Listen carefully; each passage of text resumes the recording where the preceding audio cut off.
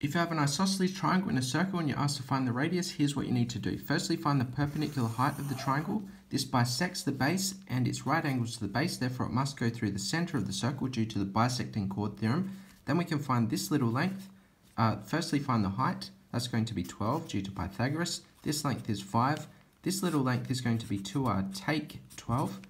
Then we can find the radius using Pythagoras again. This length is going to be r take to uh, take 12, which is uh, negative r plus 12, then using Pythagoras on this little triangle, r squared is equal to negative r plus 12 squared plus 5 squared, and simplifying for r, this is going to be 169 on 24. What do you think, Ollie? He doesn't care.